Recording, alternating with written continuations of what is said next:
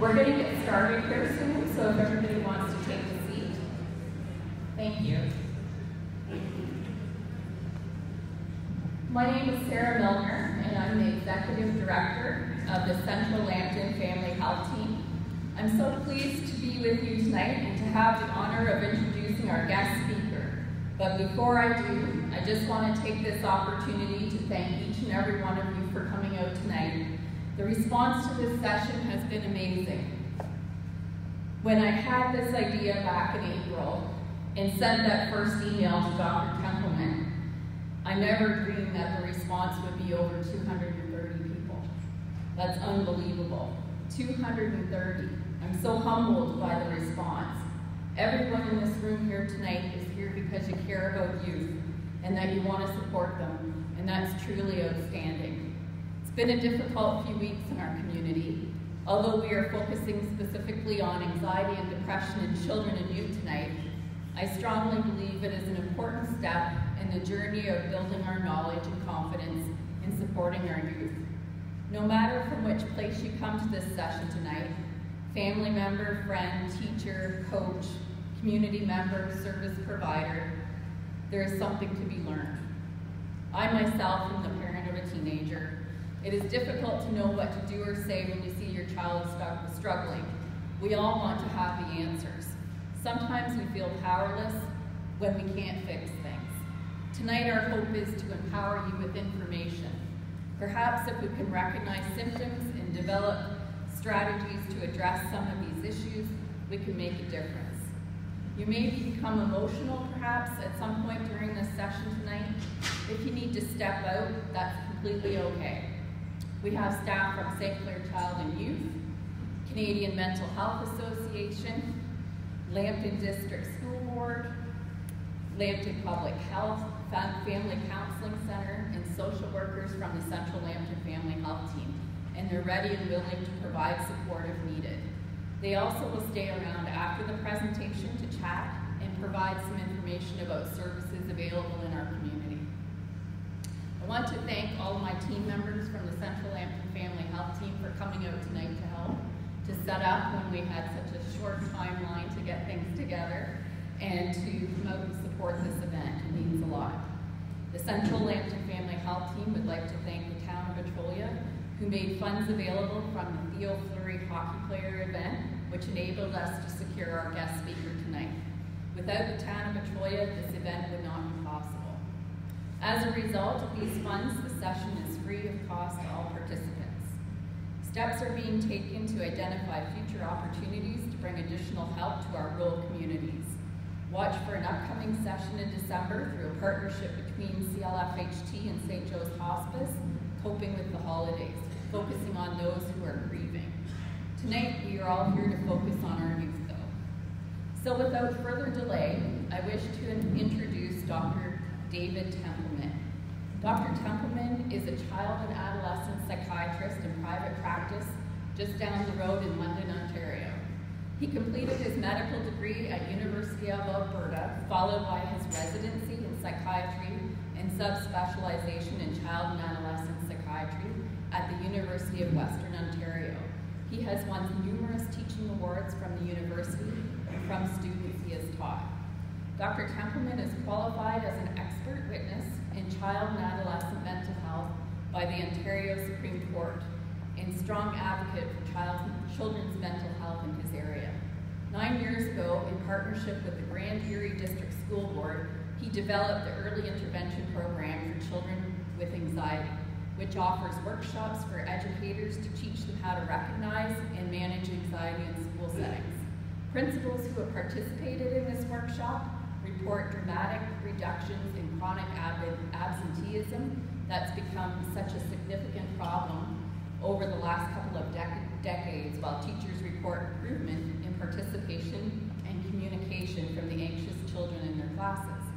He also provides free evening workshops for parents of anxious children, focusing on teaching them strategies that they can use to help their children at home. This is one of those workshops. In 2011, he published his first book, A Teenager's Guide to Life, The Secret of Living Life and Being Happy. It is available in paperback in bookstores, while the e-version can be downloaded by any teenager free of charge from his website, drtempleman.com. Um, Additional resources for parents as well as links to videos and previous presentations are also on his website. He is currently working on his second book. This one is for parents titled Kids Instruction Manual, the one they didn't come with. Eventually, the e-version of this book will also be made available for free on his website. Finally, Dr. Templeman is an amazing presenter. We are so fortunate to have him here tonight to speak with our community. So without further ado, please join me in welcoming Dr. David Templeman.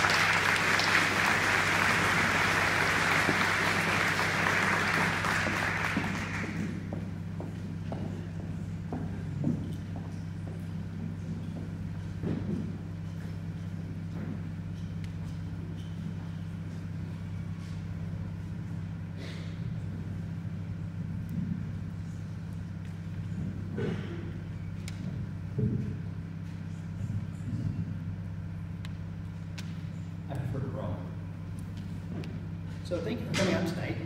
Um, as I mentioned in the intro, uh, most of these sessions, and this one as well, are going to be recorded and will be available on my website. So if anybody uh, wanted to review it at some later point in time or had other family members that you thought would benefit from it, give it about a couple of weeks and it should be available as a link off of the resources section of my website. So we're here today to talk about anxiety. And what exactly anxiety is, as well as to give parents some strategies specifically to deal with anxiety. As you all know, anxiety is something that tends to cause a lot of problems in people's lives. It limits kids from participation in activities, it limits adults from participation in everyday life. But anxiety, in and of itself, isn't a pathological thing. Anxiety is actually quite normal. It's part of the way our brains are built. It's the way our brains are supposed to be. So what happens when this process goes awry and problems start to emerge? What we're going to talk about tonight is specifically, I'm going to give you guys a framework for understanding what's happening in our brain. And from that framework, which is going to basically you know, look at the normal person, average, everyday, you and me. We're then going to dig from there into how the anxious brain differs from ours. And that's, of course, under the assumption that we're not anxious people, but if we are, then, of course, we're talking to ourselves here. So as we go, the main reason why I put this presentation together is that anxiety is a problem that can be managed effectively if you have the tools. Now, there are a lot of ways of dealing with anxiety, but most of those ways involve referrals to doctors, referrals to psychiatrists, social workers, things that tend to take an awful lot of time, and that parents don't have an awful lot of control over. What I'm going to talk about later on tonight is a way of giving you guys tools that you can use that don't need to wait for professionals, that allow you to intervene with your child quickly, effectively, and help them get past their anxiety. So the first thing we're going to talk about is the normal human brain. Now, in our brains, the things that control us, that make us do the things that we do, the neural networks that regulate our behavior, even though our behavior is incredibly complex in and of itself, the networks are relatively simple. And essentially, everything that we do every day, from what we think are the choices that we make in terms of what to eat for breakfast, whether or not to come to this presentation, whether or not to speak because we're late coming to the presentation, whether or not we need to take a break, whether or not we're going to talk, all of these things that we do every day are controlled by just two parts of the brain. On one side of the brain, you have the harm avoidance drive, while on the other side, you have the pleasure-seeking drive. Now these two drives, the best way to think of them is to think of them basically as though they were two that are in your head talking to you, telling you what to do, giving you advice. Now, I'm sure that most of you are been around back in the day when cartoons actually used to be a thing, where you used to watch them and they were kind of silly. You guys all remember those little Roadrunner cartoons where little Billy would be sitting there and he'd be staring at the pie on the windowsill and little angel would pop up on one shoulder and say, Don't touch the pie, Grandma said don't touch the pie. And on the other side, the little devil would pop up and say, Eat the pie, Billy, eat the pie. Well, that's kind of like what it is in our brains, except, you know, in that cartoon, these are meant to be good choices and bad choices, right and wrong. In our brains, we have these two competing voices, but neither of them are inherently good or inherently bad. Neither of them are right or wrong. They both have the same job in common, and that same job in common is to keep us alive. They just do it in slightly different ways. And on one hand, you've got Jim, who regulates us, and his job is to make sure we go get the stuff that we want and like and need for survival. And on the other side, you've got Bob, who also controls us. And his job is to make sure that we stay alive by avoiding the bad stuff that can hurt us. And Jim and Bob basically play us like a puppet on a string every day of our lives. So the first guy we're going to talk about is Bob. Who is Bob and why do we care about Bob? Why does he live in our head? Well, see, Bob is a very important neural network. See, it's his job to make sure that we stay away from stuff that could hurt us or kill us. And the way that Bob works is he constantly monitors our environment using our body's senses. So he pays attention to everything that we see, hear, taste, smell, touch, and feel. Constantly monitoring, looking out for bad stuff. And if Bob sees something bad out there, smells it, or hears it, what Bob does is he jumps into the control mechanism of our body, takes over control, and forces us to do whatever he thinks it is that we need to do to get away from that bad thing. So, to give you an example of what that would look like in average everyday adults.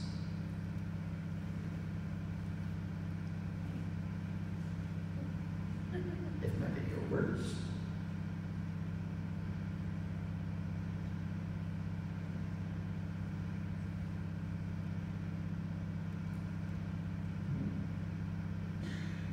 So here's what it looks like in adults.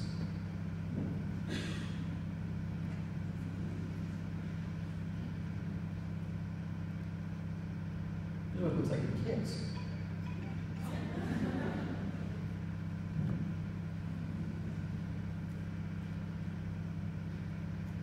Here's what it looks like in young adults.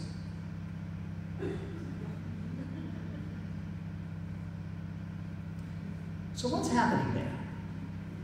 It's important to recognize that what's happening is, in each of these little clips, Bob has identified something that he perceives as a threat. The first one, it's a big spider. The second one, it's a plastic toy spider.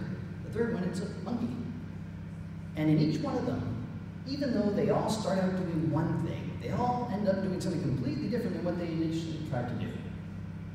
Now pay attention to these three girls who are running away from this deadly monkey that's about to kill them. Pay attention specifically to the one on the very far right-hand side. What happens to her as the one in the middle is running for her life? The one in the middle throws her to the wolves. You know, that monkey's coming for somebody. It better be you than me, and I'm gone. Now, at any point in time, do you think that this young woman sat there and thought, hmm, which one of us is more expendable? Which one of us needs to get away more? Who has more to do? No. None of this stuff is anything that they thought about. It, these are all instinctive reactions, mental reflexes, if you will, that we all engage in instantly. As soon as our brain sees something bad, we react. And it goes a little bit more than just an instinctive reaction because the reality is that if you had arachnophobia and a big old hairy spider twirled down its web and landed right there in front of you, you don't know how you react. You don't do something like that. You jump back and you scream. And even though you know, as an adult, that it's harmless, that it's a house spider, let's say it's a daddy longlegs. How many people have been killed by daddy longlegs in the history of mankind? Anybody know the number? Oh, come on, I'm sure you guys all know the number. How many people have died of daddy longlegs? Zero. See, everybody knows daddy longlegs are harmless. So how many people here would not put out their hand and carry a daddy long legs and go put it outside?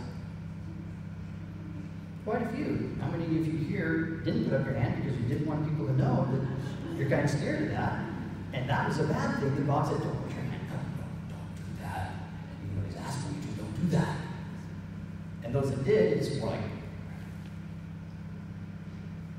So it goes beyond just that, because even if you want to override Bob, when Bob tells you to jump, you have to jump. If he tells you to duck, you have to duck. If he tells you to move, you have to move. You don't get a choice just to decide out of the blue that you know better than him. Not for the most part. It's really not when you're younger. So, where does Bob figure out what's bad? What is it that is dangerous? Well, there are certain things that we're born knowing about. Things like big things, heights, dark, things that over the course of evolution of mankind have quite literally killed many of us. So those of us who had a healthy avoidance of those things managed to survive and pass our genes on. Those that climbed to the very top of the tree because they wanted just to see if they could do it, well, their last words were, hey, check it out. And they didn't pass on their genes. So the simple fact that our ancestors have helped us to get here tells us that many of these things have been very beneficial to us as we go. But we go beyond just, you know, the genetics because the thing about humans is humans are adaptable. We have evolved over the course of the history of this planet to become the dominant species because we can adapt, we can learn, and we can learn effectively, very effectively, based on our environment. And how do you learn based on your environment? Well, that's easy. Experience. So Bob is hardwired into the experiential learning of our body. And what that means is every minute of every day as we go through life, Bob is paying close attention to stuff that hurts, stuff that really is unpleasant, that sucks. And he is paying close attention to that stuff because if that stuff across us, we need to make sure we don't fall into that habit and get into that problem a second time. Because if we got lucky enough to survive the first one, we definitely don't want to have it happen a second time. So, how many of you here are familiar with this uh, series, Scaredy Squirrel? So all of you know Scaredy Squirrel. You guys know how Scaredy Squirrel got his scares? So for those of you who don't know, Scaredy Squirrel is a little squirrel that is scared of everything. And he pretty much hides in his little tree forever. Now, I have right here the authoritative manual of Scaredy Squirrel's early childhood, written by a couple of 12 year olds. And it starts Let us take you into a world with lots of nuts. Not crazy people, just actual nuts. This is the story of Jefferson Samuel Squirrel, or sorry, Jefferson Sampson Squirrel. Jefferson was brave and curious when he was a child, even when he was in diapers. Jefferson's fearless, nothing. But then when he was five months old, he fell out of the tree. He landed in a bush of poison ivy, got a bad rash on his bum. That scared him so much he ended up with a fear of poison ivy. Jefferson Squirrel's list of fears now, number one, poison ivy.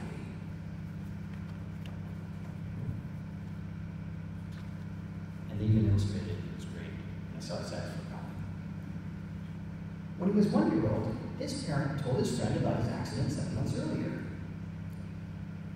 He was five and ready to go swimming with his friend. And then his friend Bob Chipmunk stopped him in the river. Then Bob said, Don't swim in there. There are squirrel eating sharks in there. Jefferson Squirrel's list of fears now had two things it poison ivy, squirrel eating sharks. Then, as Jefferson ran from the river, he realized he had a hairy, eight-legged tarantula on his leg. Ah! He shook it off of him. Jefferson's list of fears, three, poison ivy, squirrel sharks, and tarantulas.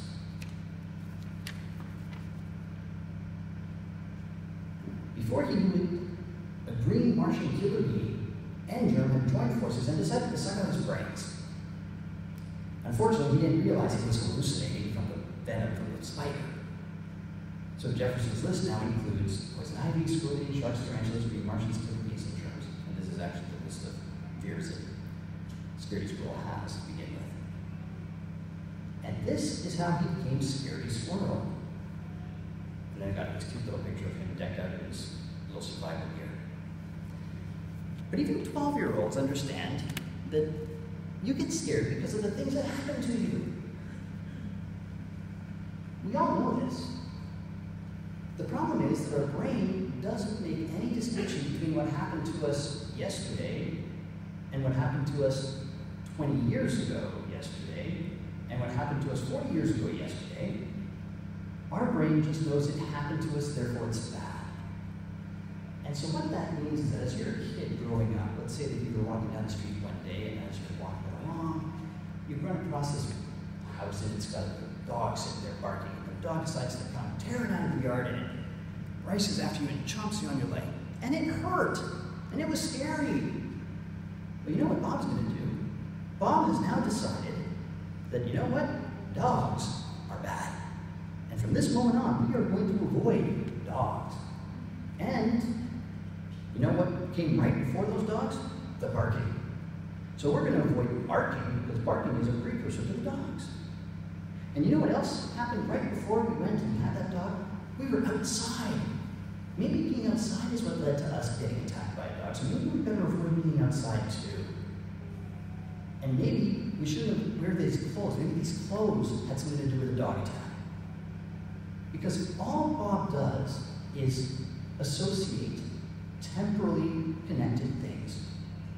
So whatever was going on right before this bad thing happened, Bob takes an instant snapshot of everything you heard, saw, tasted, smelled, touched, and sticks it in your brain and says, okay, this is all bad because this happened right before these unpleasant things. And so you can develop some very interesting fears or interesting things that make you quite uncomfortable. Anybody who's been in a serious car accident, who's ever had PTSD, knows that they may not know what song was playing at the time they had the accident, but they know when they hear it because that's the one that makes their heart race and makes them start feeling all panicky because it was on right before the bad thing happened. So, conscious or not, Bob still pays all his attention to all these things. And he learns, and he navigates things, and he remembers. And he's got a great memory, he's got a great list of all these things. And as time goes on, the only thing that happens to this list is it gets bigger and bigger and bigger and bigger and bigger. Because life is experienced. Sometimes you stub your toe, sometimes you get hurt, sometimes bad things happen. So this becomes a bit of a problem.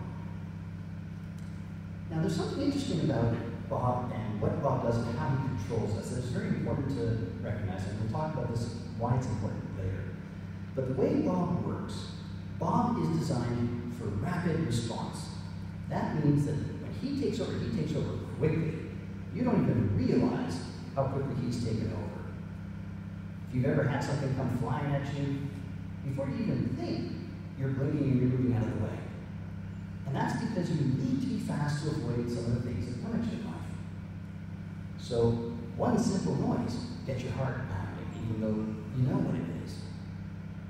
How many of you as kids remember playing that game, Don't Blink? And you'd sit there and go, and you know they're going to do it, and you know that they can't hit you, and yet, what do you do? But if you keep doing it, after a while, when you learn, oh, that, that doesn't actually, it's not actually hitting you. You can get better at it. Now, some people get better at it faster. Some people, they can still be doing that after about 10 minutes, 15 minutes of doing it. But eventually, Bob tires and runs out of gas. And that is going to be a very important thing to remember. So we're going to flip over to Jim now. Jim is the part of the brain that controls us by making sure we don't get the stuff that we want and like and need for survival all that really, really important stuff like food and water and warmth and physical contact and video games and cell phones and high heels and purses and electronics and cars, right? All the things you simply can't survive without, right? How many of you can survive without your phone? Literally, not a single hand goes up. How many of your teenagers can survive without their electronics? What would they hate more, missing food or missing the TV show? Or not being able to log on to Snapchat? What's the bigger problem in their world? But the reason that it's all of these things is that our brains have one neural network associated with good stuff, and that's Jim. So what that means is that no matter what it is that I like, this neural network is turned on. When it's turned on, dopamine is being released in my brain. So when dopamine is in my brain, I know I am liking whatever's happening. And it doesn't matter whether it's I'm liking what I'm watching, liking the sound I'm listening to, liking the food that I'm eating, liking what that looks like, liking the attention. If I like it, it's got dopamine in my brain, and my brain thinks this is essentially critical for survival. And what Jim does is uses our five senses, same as Bob, everything you can see, hear, taste, smell, touch, feel, monitors the environment around us, paying close attention, looking for that. And when he sees that goodie, what he does is he locks on that source of dopamine like a little homing missile, takes over control of the body, and he forces you to do whatever you have to do to get that good thing, whatever it takes. So again, to give you an example of what this looks like in average Jim is the reason you can't stop at just one chip. Everybody knows what that's like. He's the reason why you see that wonderful rich chocolate cake and you're like, I really should touch reach for the fork and start eating away. He's the reason why you need to have the last word in the fight, why you need to win. He's the reason why you laugh at very inappropriate moments like funerals or whatnot, but it was just funny and you can't help it. But he's also the reason why people hurt others. He's the reason why people will steal things. He's the reason why people will do all sorts of wonderful, fun things. Such as this.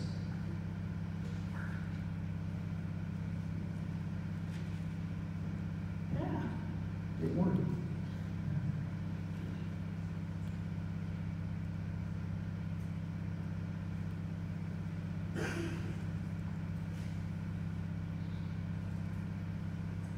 Uh, yeah. Doesn't look like it wants to work. Well, then I won't show you the video. I know it's on one of the other recorded presentations, it's definitely worth want to see the video alone. But essentially, what he does is he will do whatever it takes to go get that good thing. Now, the way that Jim works is slightly different than Bob. Because while Bob is designed for rapid response, Jim is designed for a slow, gradual buildup of power. See, Jim doesn't mind waiting to get what he wants for a little bit as long as he's going to get it. But you can only wait for so long. And all of you know exactly how long that is. That's how long it takes for your kids to go. Has it been a minute yet? Has it been 10 minutes yet? Has it been 10 minutes yet? Oh, this is taking forever. And for some kids, that's 10 seconds. For some kids, it's 5 minutes. But the only reason they're waiting is because they're going to get it. The way that Jim activates, what it takes to get Jim's attention, is certain things. Rule number one to get Jim's attention is Jim needs to see what he wants. He needs to see it, hear it, smell taste it, smell it, touch it. It needs to be real. Jim doesn't care so much about stuff that doesn't exist. Second thing, much like Bob, Jim needs to know that that thing's like right now, happening right now. Not tomorrow, not a month away, not down the road, but right here, right now. It's got to be something that he likes, so he's had that some experience with it, so he knows it's good. And it has to be something that's relatively unique in terms of the amount of dopamine that he gets.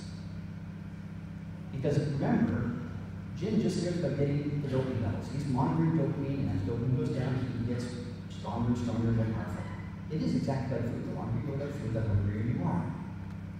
So the longer he goes without getting his fix, the more order he gets, the more he takes over control, and the more he regulates you and makes you do whatever you have to do to get what you want. So does everybody understand those first two parts of the brain? Very straightforward. All right. So the triangle of control of our bodies, the things that make us tick, is essentially a balancing act. Prior to the age of about 12 or 13, prior to puberty, the only thing that goes into what we do, the actions, the choices that we make, is simply the balance of the volume of and Bob in our brains at any given point in time based on what's around us right here, right now. So if you've got a child who's nine, who's sitting there and reaching for that cake, and you're sitting there scowling at them and threatening them, and they're still sitting there looking at you going, and you're thinking, what, you don't think I can see you? But they're doing it slowly, right? Right in front of your face. Why are they doing that? Because Jim is more powerful than Bob at this point in time. Jim's going, I want that cake. I want that cake. Bob's going, uh, but dude, Mom's not happy with you. I want the cake. So they go for the cake. Now, if Bob is more active, they'll, okay, we're not going near that cake. They'll back away. They'll say, sorry, move off. But what happens when you leave? Well, that's when the threat, the danger, goes down. And suddenly now the desire, because they still haven't gotten it yet, goes right back up. As soon as you're not watching anymore, they do, go get the cake. Now, it seems kind of dumb that they'll sit there and right in front of you, reach for the cake as though you can't see it. Why is that? Well, it's because they are dumb. Jim and Bob are really dumb. They have the mentality of a two year old. They don't understand what makes sense. They don't care about what makes sense. All they care about is getting what they want and stay away from the bad stuff. They care about following their rules. And that's it. That's all. So, how do they know it's good? Because I said so. How do they know it's bad? Because I said so. Yeah, but what if it's not? Too bad it is. But what if I can prove to you it's not? I don't care, it is. And this is the way that they work all the time. Now, as you all know, we don't actually have two guys sitting up in our brain running at the control panel. That's the analogy because I deal with kids and they need to have something that they can think of and see. The way that we all experience Jim and Bob in our daily lives, every day, are two ways. Number one, Jim and Bob make us have thoughts. You know those little messages that pop into your head sometimes out of nowhere, and you're wondering where the heck did that come? Well, that's either Jim or Bob telling you something. Either it's Bob saying, "Oh," and you remember to turn off the stove, and suddenly you're like, "Oh, did I put on the stove?" Honey, we're in Mexico. The stove's in Canada. Relax. Yeah, but what if I left it on? Well, there's nothing you can do about it now. And Bob's like, "Oh my God, it's going to burn down." And I can't get it out of your head. It just keeps going around, and the thoughts just won't stop. Why can't you stop, stop the thoughts? Well, it's because Bob, Bob needs to make sure you know about all the stuff that's going on. Same thing with Jim. How many times are you just sitting there, walking around, and suddenly crackers? What? Chips. Go now. Oh, uh, okay, I've got a gravy for something. Guess we can go over here and see what I can get. Or don't you like it even better when Jim sits there and goes, I want it. Uh, what do you want? It. Yeah, but what is it? I'm not telling you. Go get it. Now. And so you start rummaging through the cupboard, looking for whatever, sticking one thing in your mouth. Nope, that's not it. Maybe it's sweet onion. Nope, maybe it's tart. I don't know. And you're trying, you're trying, you're trying until finally you find it. Sometimes you do, sometimes you don't. Kind of frustrating. But why are you doing that in the first place? I mean, if you don't even know what you want, how are you going to get it? And yet we do. We just do. We don't stop and think, wait, no, that doesn't make sense. Dinner's coming up soon. And this is the problem, is and Bob have been with us since the day we were born. So instinctively, we trust them. We trust that these thoughts, these messages that they send us mean something. That they have some degree of validity, that they're true somehow. I feel like you don't like me. What makes you say that? It's just a feeling I have. Is it a thought? No, no, it's more than a thought. Thought like six months ago. Now it's feeling. Because this is what they migrate into. They go from thoughts into feelings. Every feeling that we have, every emotion that we experience in our lives is simply the balance of the volume of and Bob in our brains at any given point in time. And for most of us, we go through life feeling our way through life. How many times do you get asked by your husband, what do you think we should have for dinner tonight? No. It's, honey, what do you feel like eating? Where do you feel like going? What do you feel like doing? It's in our language. We know that it's all about feelings. What we feel like. Ah, I feel like that's going to be a bad movie. Let's not go watch it. But the critics said it was. Yeah, but I feel like it's not going to be so good. I don't think we should go down this road. I think we should go over here. Just got a feeling it's not going to go well. Based on what? Ah, it's just a feeling. But you know what they say, right? Trust your feelings.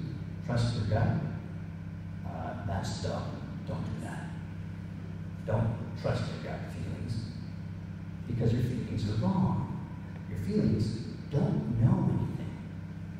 Now, all of years into my wait a minute, I remember this one time I this feeling, and it turned out that it was right. You're correct. That is true. Sometimes they are right. But how many times have they been wrong? And yet, do you take that as proof that you shouldn't listen to them? No. So it's a bit of a double standard that we use for these guys. So if we can't trust Jim or Bob to guide us, who can we trust? Well, welcome to puberty. When we hit puberty, this magical thing happens in our brain. And that thing is called maturation. Our brains change. And our brains start changing and continue to change over about the next decade from child brain into adult brain. And the main difference that happens is that this new guy joins the show. You welcome a third player into the game. How many of you saw the movie Inside Out? Remember that one? It was a great movie. Very accurate, actually. It's just that five or two, but other than that, oh yeah, they control you with those little levers, just exactly what it was doing. Remember at the very end, they saw that big red button, puberty. Said, what happened to, what's that button for? No, I've actually written up the comic strip as to what exactly happens after that. So, what happens is somebody moves in. You. The, the you, you. You know, the thinking you. The you that's you. Not the you that's you, like the you you feel, but the you, you. The you that wants to be you. You know what I'm talking about, right? The part of you that pays attention to things, that wants to do things, that tries to be in control, that makes decisions, that fights to make you do things that you know you should do. The part of the brain that we often refer to as willpower or self control.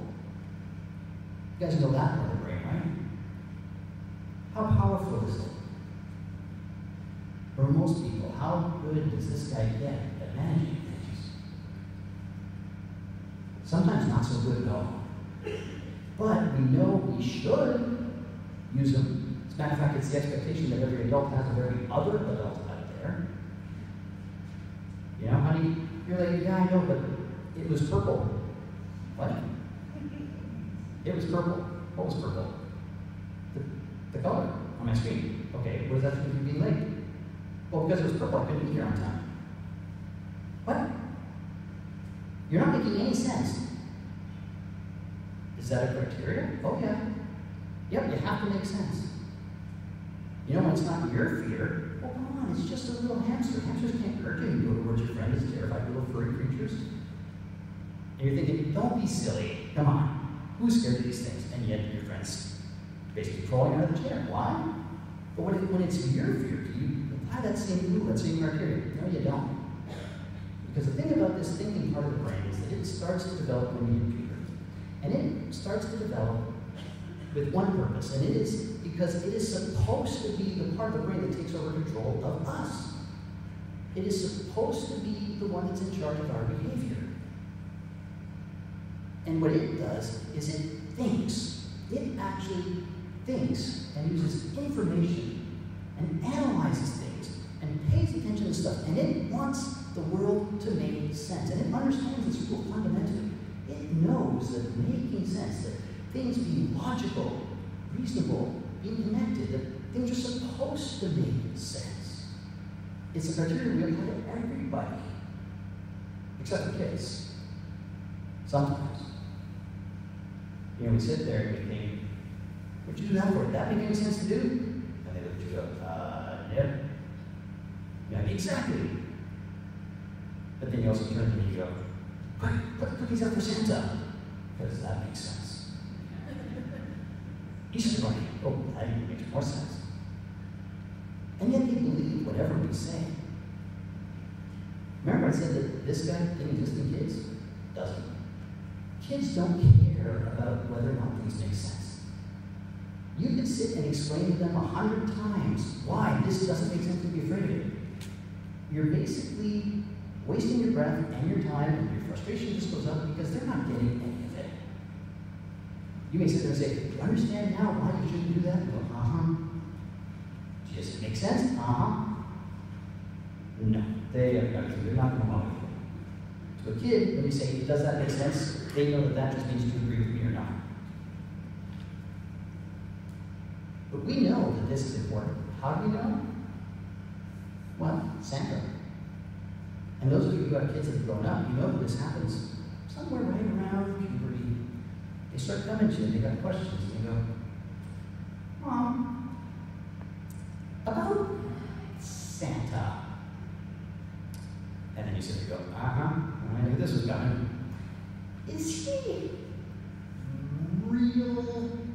I mean, you know, just, I just, I noticed something. I noticed that Santa's paper is the same as your paper. And Santa's handwriting is the same as your handwriting. Because that's how they figured it out? No. Yet how many of you make different wrapping paper for Santa gifts and write with your left hand and make sure that it doesn't look at all like this? Because you want to maintain the rules. You want to make sure your kids don't get it. You could have identical wrapping paper, identical cards, identical handwriting, exactly the same thing. One from you, one from Santa, right beside each other, and they go, yay, Santa, yay, yay. And they don't get it. This is what kids do. They don't get it. Kids don't get it. So you're wasting your time.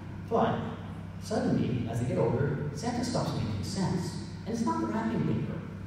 It's the fact that we're trying to convince them that the fat guy flies around in a sleigh every night delivers gifts to hundreds of kids while sliding down through chimneys.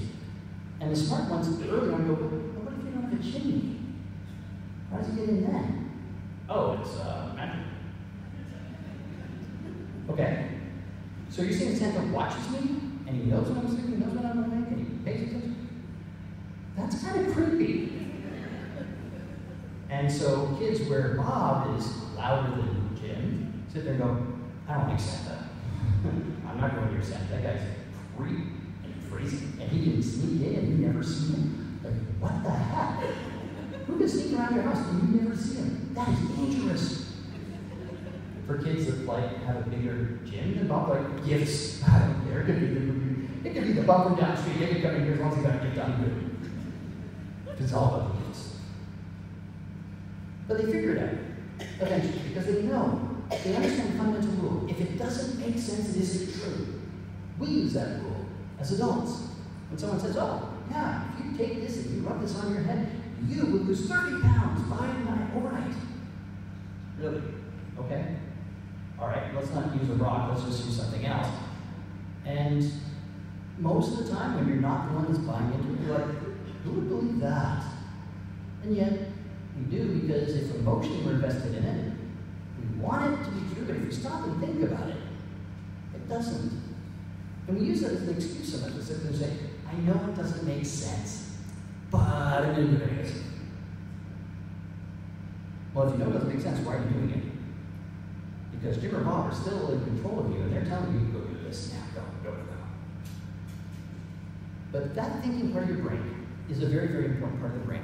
Like I said, it is the one that is supposed to take over and supposed to be in charge of what we do. Unfortunately, for most people, it's not. Now, remember, it only turns on once you hit puberty. And then it takes about 10 years to develop to the point where it can actually be a somewhat useful person. So adulthood, we're talking about 25. And 23, 25 is by the time they're actually able to make good decisions rationally because they understand what makes sense and they can push themselves and they can make themselves do stuff. How many times we tell our kids, just make yourself do it, push yourself, come on, be in control. That doesn't work. You know, just suck it up and face your fear. Just make yourself do it. That doesn't work either. What does work is when that goes, that's it, I've had enough. If I have to come up here one more time, I am going to. And they go, oh, okay, okay, go back to my room. Go back to my room. That works. What happened? You became scarier than the monster in the room they were convinced was going eat them. Good job. And yet that's what we've always done. We know that we can manipulate and control people using Jim and Bob. And the rules are pretty straightforward. Avoid the bigger bad things. So until dad is a bigger, scarier bad thing than the monster in my room, I'm going to come down every five minutes because I'm scared up there. Once you guys become scarier than the monster, I'm going to go upstairs. But I'm still scared. I'm just more scared of you than the monster. But I haven't stopped being afraid of the monster either. Because as soon as you disappear, I go back to being scared. Or what do you want? I want this, but it doesn't make sense to get it. I want it anyways. What's the difference between an iPhone 10 and an iPhone 8, or 9, or 7, or 6, or 5? Does anybody actually know? Even Apple doesn't know. They just know it's new. And most important rule about Jim is I want it if I don't have it. So that's a very important rule. Jim wants what he doesn't have. Remember, he's always looking for stuff. But if he already has it, what happens? He doesn't care. He doesn't care about it once he gets it. And you've all experienced this with your kids. How much do you like, I want this, I want this. And you get it, you play with it for 10 minutes, and you're bored and done. And then as a parent, you're going, do you know how much Santa paid for that gift? Play. You're going to use that and enjoy it more. It's you. I don't care. You're going to get your money's worth for Santa's benefit. Why would Santa care? Good question. You can't break the rules now. So, thoughts turn into feelings. Feelings pretty much control us, but we are supposed to be the ones in control. But in reality, Jim and Bob play us like a puppet on a string every day of our lives. That's the take home message from this first part. Does everybody understand that basic principle and how that breaks down? Any questions before we move on? No? All right.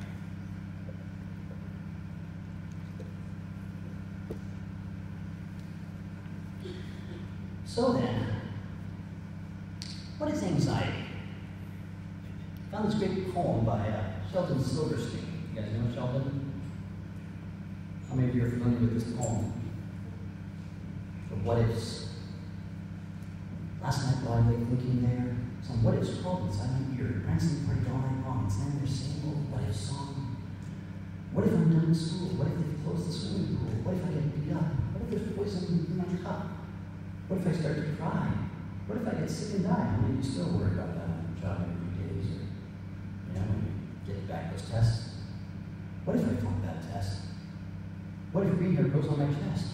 The yellow version. What if my hair doesn't grow anymore? What if nobody likes me?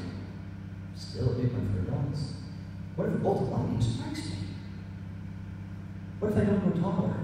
I've already given up on that. It's not happening. What if my head starts getting smaller? Or in our case, brains. What if we can't remember stuff? What if the fish won't bite? What if the wind tears my kite? What if they start a war? How many of you are worried about North Korea Trump? You know, we're also going, really? Why, why would you antagonize a crazy person when we're here and, and we, we have nothing to do with you? But you know what's coming to us too. But is it really? But we worry nonetheless.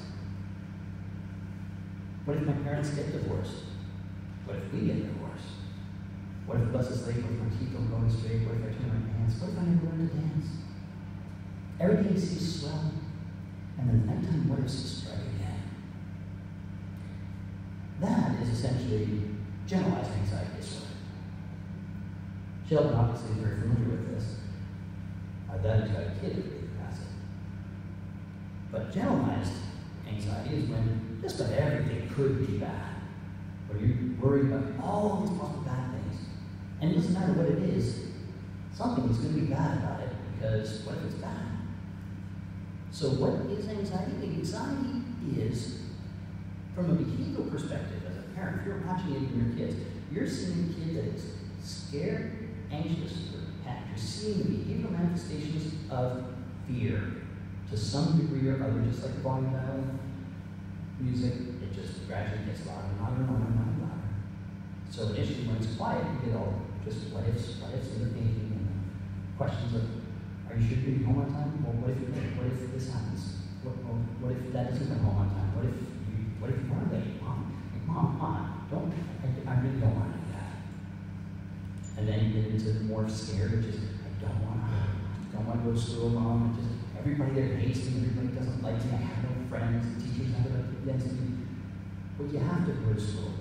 Don't you love me? Don't you want to protect me, mom? You have to go to school.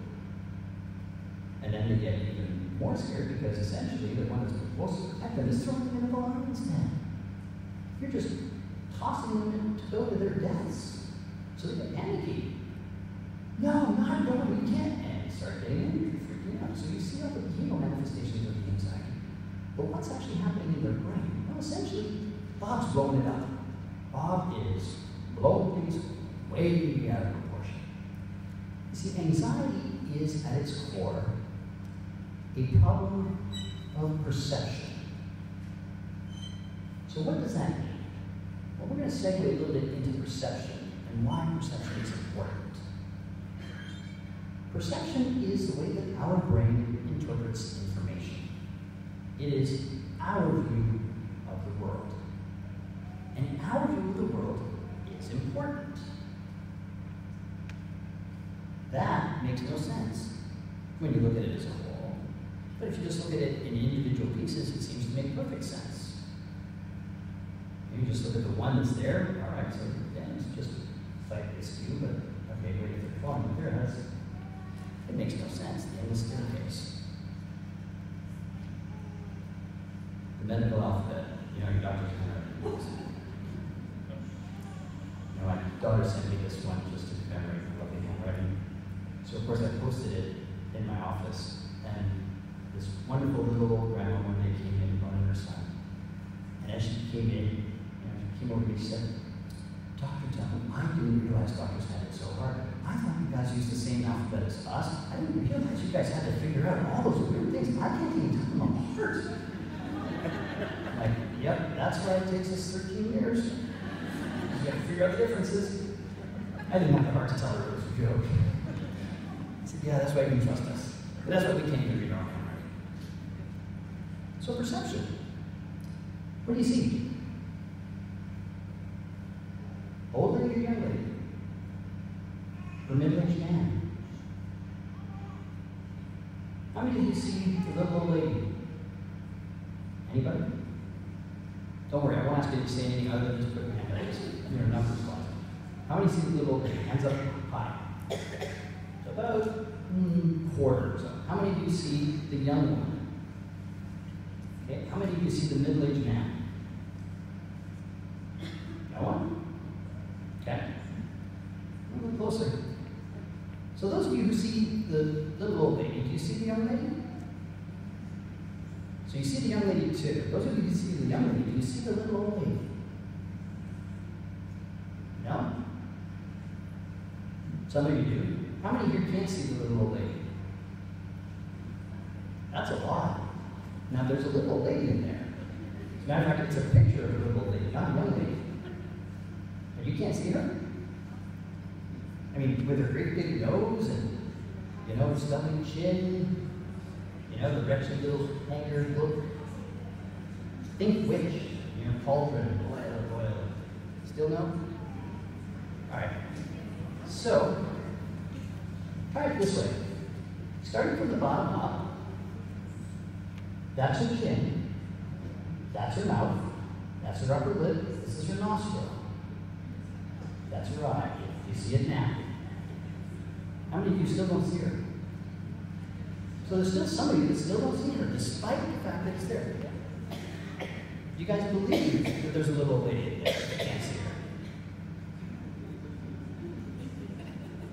You want me to show you guys the middle-aged man? Can you see that one? No? You believe me it's there? How many of you believe me there's a middle-aged man in that picture? Nobody? Nobody believes me? Really? wow, I got a credibility issue here. So how many people believe me? You're going to be happy. And how many of you absolutely, definitely not a village man? How many of you are willing to absolutely stand by your own perception and be 100% convinced that no matter what, there's no village manager? Nobody. So none of you believe me, but you're not willing to say that you don't believe me. Come on, you gotta pick a side here. You can't just be halfway. It's either yes, you believe me, or no, you don't. No. So I've got some notes. How many people actually believe that there is a village there?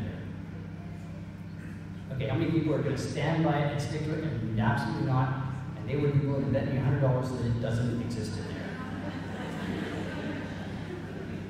Okay, a couple of people.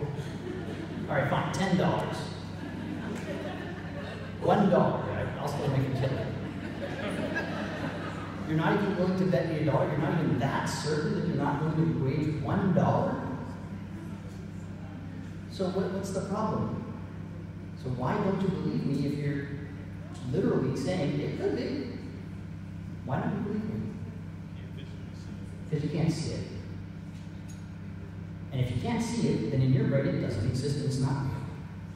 No matter how convincing the person is telling you. And, and you may not not believe them, but that doesn't mean you believe them. So when you tell your kids, it's safe to go upstairs, there's nothing in the dark that can hurt you. Uh, that's not what they saw. Yeah, well, your mom, you know, trust me, there's nothing up there. Okay, I believe you, mom. All right, go to your room, done. But don't you believe me when I tell you this? I do believe you. All right, then move this down. Does that make any sense at all? No. So what's happening here with all of those people that aren't willing to take a stand one way or the other, Bob is in control.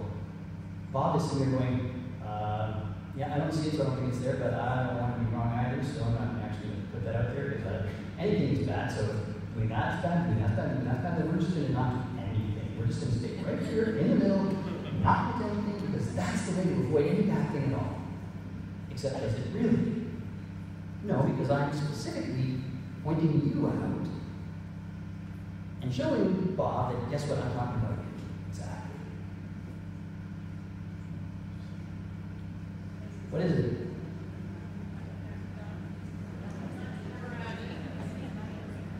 Is it a duck or a bunny? Which is it? No, it's not. It's a duck. It's very straightforward. It's a duck. Like, come on. No, it's a duck. I know those of you are sitting there going, hey, but it's also a bunny. If you turn it the other way, it's a bunny. Well, I control it. I get to decide what it is. Isn't that what we do as parents? I control it. I get to decide what it is. Mom, I don't like this. Eat it. It's good. It tastes good. But I don't like it. Eat it. It's good. But I hate it. Eat it. How do you know what they like? Would you do that to any adult if you went to with dinner to them? Or with them to dinner? They're sitting there, "Ah, I don't like this fish. Oh, it's a good. Shut. Eat it. no, other adults would sit there go, uh, dude. Yeah, we know people have different tastes, so why do we insist that our kids have the exact same tastes that we have?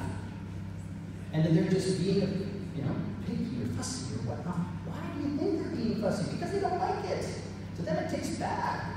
Or it feels weird. Or something. Or they just don't know what it is. And if Bob doesn't know what it is, then it's bad.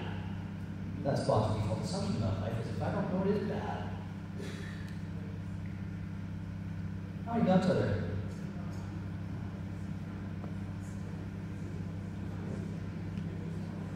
Come on, you guys can count, can't you? How many can you see? Can you see all, all, all at once? No? Wait, you can't see them all at once? Why not? If you know there's 12, then why can't see them all at once, even once you know that they're there? The reason is our brain is a machine. We can devise things that fool that machine because we know the rules of the machine. And so we can do things like this that really mess with you because it's just a picture. There's no movement in there. There's no missing dot. They're all right in front of you. So why can't you see them? It's a funny thing, isn't it? Do you even know why your brain can't see them? I can explain to you, it'd be a little more complicated we need to get to. But the point being, even as an adult, when you know you can't trust what your brain is telling you, you still see what your brain tells you you're seeing. So knowing doesn't change your perception of it. Your perception still stays the same regardless. But sometimes your perception does change. How many of you see the spinning circle inside of the purpley pinkish solid thing? Can you see the movement as it spins? Okay, and is that, can you see it going clockwise? Can you see it going counterclockwise? So is it going clockwise or counterclockwise? Well, it can't be doing both at the same time.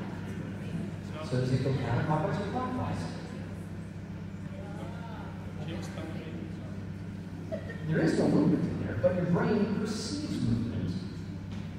Which direction does it it in? Well, that depends. What was the last word in your brain? Clockwise or counterclockwise? If we said clockwise, your brain's moving clockwise. If we suggest it goes counterclockwise, and you blink, suddenly it's going counterclockwise. But it's the blink, it's the sudden break in the perception that allows you to shift and makes it go the other way. So perception can be influenced by belief, absolutely. But it can't really be influenced by knowledge, by what we know.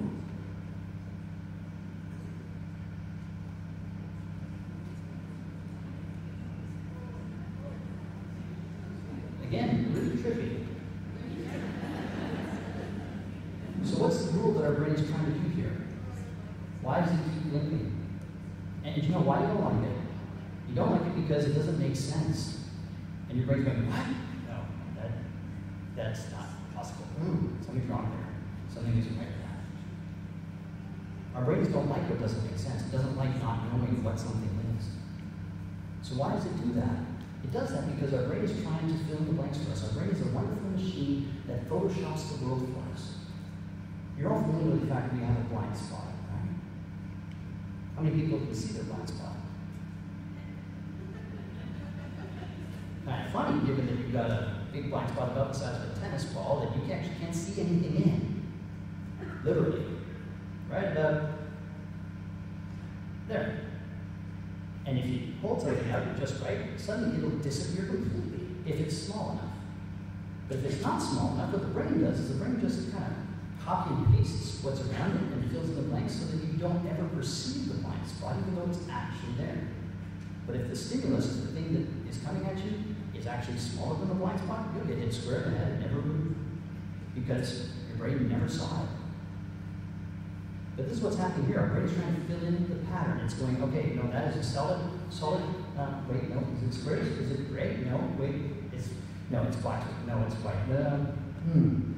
Because they all could be one pattern or another, so your brain's trying to fill it in and it doesn't know which one's more right. So it just shifts. But it does this all on the periphery, so when you stay focused on just one spot, that spot stays one solid point. It doesn't shift. But as soon as you look off, just like maybe one side off to the other side, they start to move. And your brain starts to try to fill it in for you. So if you're expecting it to be something, your brain sees it. In other words, when your kids are expecting there to be a monster under the bed, they see that monster. And you can sit there and say, there's no monster. Yes, there is. I saw it. I saw it. I saw it. Absolutely. How about this one? Why are you mad at me? Why are you yelling at me? I'm not yelling at you. Yes, you are. You're yelling at me. No, I'm not yelling at you. You're, you're mad. I'm not mad. Yes, you are. You're mad. Okay, now I'm getting mad because you're not listening to me, but I wasn't a minute ago. So why do they believe it? Why do they hear it? Why do they perceive it? It's all because of Bob. Who knows what's in this picture? How many of you can see that? How many of you can't see the sailboat? One, two. Not very many people. This is a test of colorblindness. Colorblind people can't see the sailboat. And funny thing is, they will never be able to see that sailboat because being colorblind means that your brain just doesn't have the necessary receptors for that wavelength for that particular color.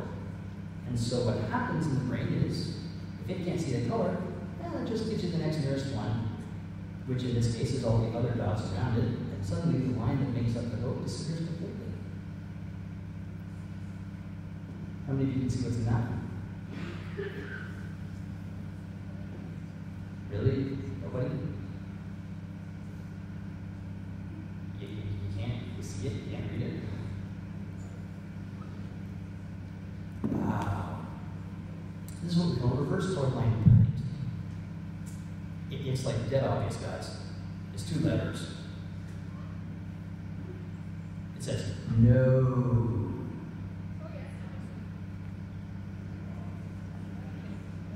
But as a reverse colorblind plate, what it's done is it's added in all of those other colors that the colorblind people can't see, and it's turned them into the next nearest one. So suddenly there's a solid line for the colorblind people, not for people with normal vision. Now, problem with all of this stuff is that you know that I am telling you stuff about this. For those of you who can't see it, if it wasn't me, a doctor, telling you this, and it was your kid telling you it was like that when I got here, Mom. no, I know what I saw. You're wrong. How many of you believe the other person when their perception differs from yours? As adults, you have a hard time doing that. And yet we expect our kids to do it just like that. To take on our perception of the world because we said so. But we don't even do that. So you can see how anxiety can become a really big problem here. Because here's what Bob does to the kids. Bob blows it way out of proportion and takes little bad things and turns them into huge bad things. And tells you, yeah, it is that bad. You know, they did a really interesting study in Stanford just a couple of years ago that they finally wrote up. After all these decades, of people finally decided to listen to them. And they actually did it on spiders in much the same way. What they did was they took a bunch of well-educated, university-educated people with just a simple arachnophobia, you know, terrified of spiders, and they brought them into a room, simple room, just glass plastic thing in front of them, all white. And what they had was the little spider, you know, common spider on the other side crawling around. And who don't know, spiders respond to wind. You know, they hear with the hairs on their legs, they taste with the hairs on their legs, they smell. It's actually quite fascinating. But that's how they can sense something. So if there's a predator or somebody that moves towards it, there's that gust of air, that displacement of air, it's really sensitive. And so they jump in the other direction because spiders aren't actually predators. For the most part, they try to get away from that thing. But what that means is if you're designing the experiment, you can have that spider crawling right around and then little gust of air here, and then that spider to the window. So it's designed to elicit a fearful response from the people. And what they do is they get them right after that little thing to rank their level of fear of how their heart rate is going, how panicky were they, you know, one to ten. And then they bring them back a week later into the exact same room, into the exact same situation, no spider this time, and they have a piece of paper, and on it they've got various sizes of spiders, you know, photocopied and built up from about you know, one millimeter in size to roughly two and a half inches in size. And they said, circle the size of the spider that we showed you last week. The only correlation to how big it was was the level of fear that they experienced. The more they rated themselves as being afraid, the bigger the spider was in their recollection. And some people insisted that it was bigger than the biggest one on that piece of paper. It was about half a centimeter in size. It was tiny. But they remembered it as being about that big. So the brain really changes your perception of these things and makes them much bigger than they really are. And therefore much more dangerous and deadly to you. You know, weather. Are those tornado clouds? How many of your kids watch and listen to the Weather Channel, tornado warnings? How many of you as adults still watch the Weather Channel and pay attention to tornado warnings worry about that? Needles, that's fun. And a kid even pleasantly described it to me. He said, I am never getting another shot in my life. I still remember when that doctor impaled me with that needle when I was two. Like, you remember it was, yeah, it was that big. Like, I'm pretty sure it wasn't. It was, yeah. It went like right through my arm. Like, you know you're 12 and we don't make that big, right? It's like, yeah, you do. you just save them for people. Why would we do that? I don't know, but I'm never getting into them. How many of you as adults are still afraid of needles? Why? Because one of the first things that actually hurts, you know, you're sitting there, la la la, and sitting in mom's arm, and suddenly this guy in the white coat comes up to you and goes, and gets you. And as a baby, you're like, what the hell? I don't like doc- white coats. We don't like doctors ever again, or needles ever again. And suddenly, doctors know that kids, after that first visit, they see the doctor come in the room, they're like, Mom, yeah. And some of that persists even into adulthood. How many of you get nervous just going to the doctor, even if you're the one made the appointment? You still get nervous going. Why? You're one who made the appointment. Because who knows what they might do to you? I can tell you nothing. They're there to help. But never know. What if they do need to take blood or needle? Or germs? Or dirt? Right around grade six, there is a rush of OCD kids that come to my office because London, grade six is when they have the health teaching unit, informs all these kids about germs. Up until then, they didn't know what germs were. And then they get taught germs are little things that you can't see. They're dangerous and deadly and will kill you. And you get it from touching stuff that's dirty. What? I mean, all this time I've been taking my life in my own hands. Okay, from now on, we're going to open the doors with our shirts and, or, you know, just stick our feet on the doorknobs, whatever it happens to be. Even as adults, I still see that. How many people won't possibly share a drink with their spouse? Oh yeah, you're kissing, but you're not sharing a drink. I mean, that, that's disgusting. Germs, right? Like, I'm not sharing my food with you. I'll kiss you. I eat food of yours. My brother's like that. It's funny. Elevators, small spaces, crowds. Way too crowded in that store for me to go in there. Right? There's only like 15 people. Yeah, but you know, like, big store. I mean, lots of people. Wait till it gets quieter. When's it ever quieter than 15 people? Yeah, it still seems to be quite busy.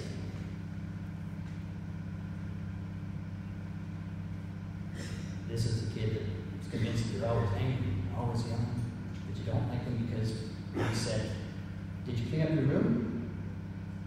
I'm sorry, I'm sorry. You hate me, I'm a horrible kid, I know. Dude, I just asked if you cleaned up your room, that's it. Well, I just know that you're going to get angry and, and, and hate me and, and what? I don't know, it, something. Okay.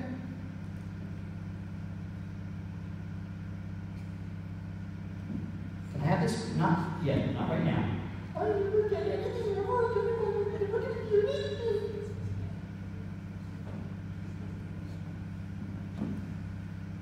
Everybody at school hates me. I don't have a single friend. The teacher hates me. I'm stupid. I can't do anything. That's their perception.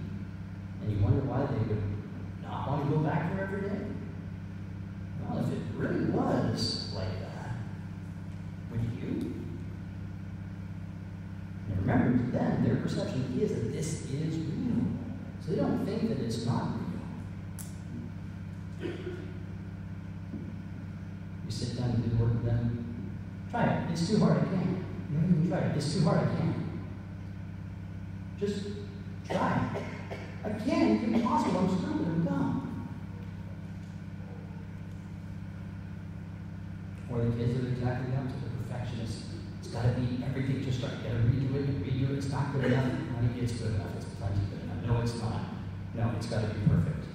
It's fine. The teacher doesn't care if you had it typed out properly on the right side. She said 11 point font. This is 10 and a half. It's not okay. Yeah, you know, you're two words over. I can't. I've got to rewrite the whole essay. Really? Or they got a 92 and they're sitting like, oh, horrible. I missed. Look at the things I missed. Yeah, you got 92 of them right. Right, but I got. And yet we also do that as parents too. Did you clean your room? Yeah. Well, no, you didn't. There's a sock right in the middle of the floor. Your, your room's still as night. Fine, go pick up the sock. Pick up the sock. Better now? Yep. And yet, that was the reason that you called them up and said they didn't do it, because there's one thing you can really clean up like ninety-eight percent of it. But that's what we do. The kid, as soon as one thing goes wrong, forget it. It's a disaster. There's just no point even trying to fix it. Nope. You know what? We got into an argument. We're never gonna be friends again. Never. Life's over. I can never show my face there again. I'm being humiliated to death. Or are those kids where it's a sensory issue? It's too loud. Turn it off. Uh, it's normal. No, it's not. To them, it bothers them. The kid sits at the table, stop chewing. Your brother can chew. Mom, he's driving me crazy with his chewing. It's not that bad, okay? Yes, I can hear it, but seriously, it's not that. Are you sure? What do you hear? Well, you hear what you see, but they hear something that is quite significantly worse. Much louder. These kids have incredible hearing. Because Bob is so tuned in to making sure that everything is picked up, everything's identified, that he looks at through a huge magnifying glass, and he doesn't miss a thing. I mean, these are the kids were having a conversation at the other end of the house, downstairs, away, and the next morning they come to you Why were you and Dad talking about this? Like, How did you even hear that? Oh, yeah, because they could hear everything. Absolutely everything. Mom, my socks bugging me. Tag it on. I can't wear this freaking clothes. I don't want to wear those jeans. Is. Why do you hate me? I'm just telling you to get dressed. You hate me because you're insisting that they put on a pair of sandpaper clothes. I mean, kind of horrible person makes kids wear sandpaper outside? And yet we do.